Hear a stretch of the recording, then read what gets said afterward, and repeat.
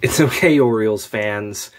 The cheap goblin is gone. I just taking this news in. So a couple months back, I think it was actually around December, um, there was rumors swirling around that uh, Dave Rubenstein could be buying the Baltimore Orioles from the Angelos family. But a lot of people were kind of hesitant to believe it because would Peter, Peter Angelos sell the team? I mean, he's been owner of the team since 1993, and his son John Angelos has since taken over the the business role now that Peter is well retired at this point for the most part.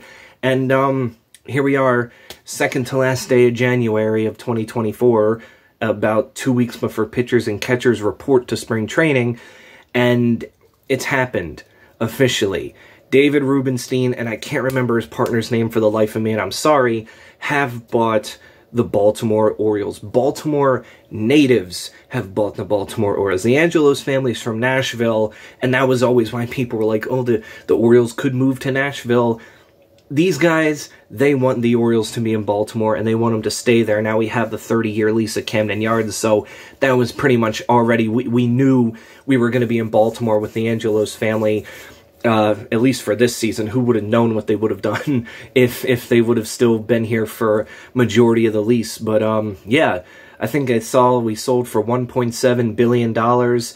This guy has a net worth of like four million dollars, and from what I heard from the other companies that he is the owner of, he um he likes to spend money and that is something that I I love to hear. You know, I know we're not going to have Yankees money or Dodgers money, but probably something more like Texas Rangers money, where we'll be able to handle or not handle hand out a, you know a big contract or two for a good bit of you know a couple of years and then build around those big contracts but if i was him the first three things i would get done you extend adley gunnar and jackson holliday and then you start building around them while you still have them in their prime so We'll see what this guy can do. Hopefully he lives up to the expectation, and hopefully he spends money like people said, because I'm getting really tired of these flat off seasons and these one year deals. Granted, the one year deal for Kimbrel made sense, but like, you know, I just that Nelson Cruz one year deal and then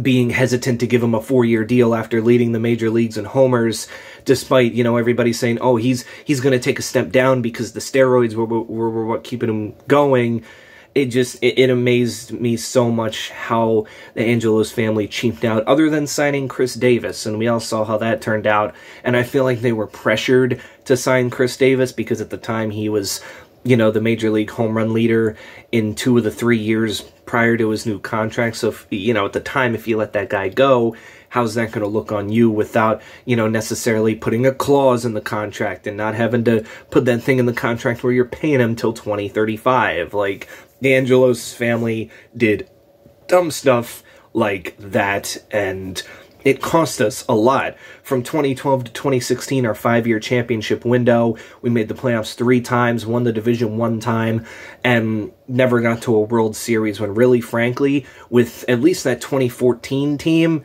we probably should have should have got there, but we didn't. And then you know, just it seemed like after that, the owner was just scared to throw out any more money. Maybe really since that Jimenez contract, but that was um, you know, was, was it all that surprising when you look back at it that that Jimenez contract didn't work? I don't know, but yeah, Orioles under new ownership, very excited about it.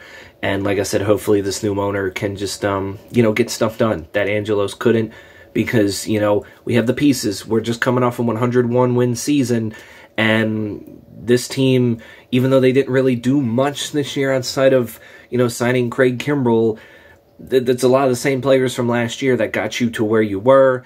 And, you know, this is another th- thing where I can say World Series could be an expectation, like it's a realistic expectation at this point, rather than, you know, reaching and being like, oh, maybe if we make the playoffs. No, at this point, the Orioles are set up to where their expectation for pretty much every year is this has to be a World Series year. And if this guy does the right things and builds this roster correctly and spends the money when needed to, we're definitely in good hands here. And I hope, I hope that he gives Mike Elias more freedom to do things that he wants to do as well, as long as they're on the same page.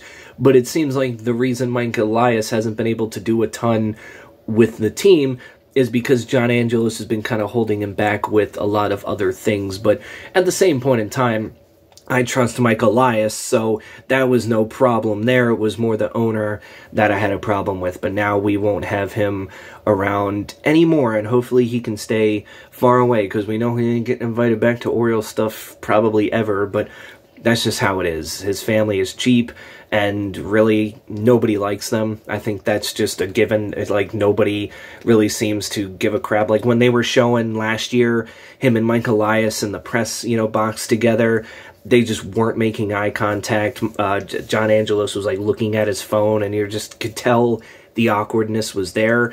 Well, now it's got to be relieving for Mike Elias saying, I don't have that awkwardness hanging over me. And this guy seems like he's he's ready and willing to do whatever it takes to bring this team to the top rather than, you know, scout and draft good, which I still hope we do.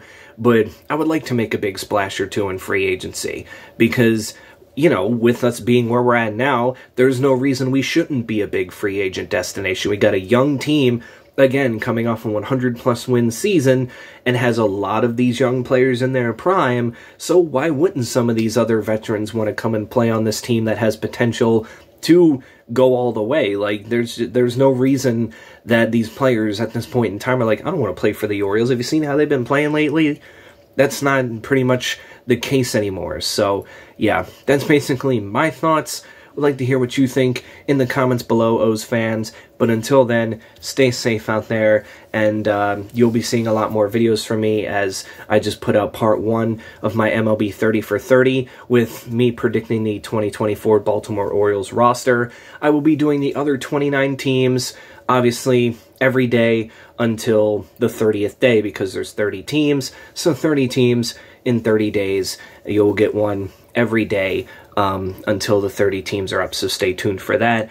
But till then, catch you in the next one.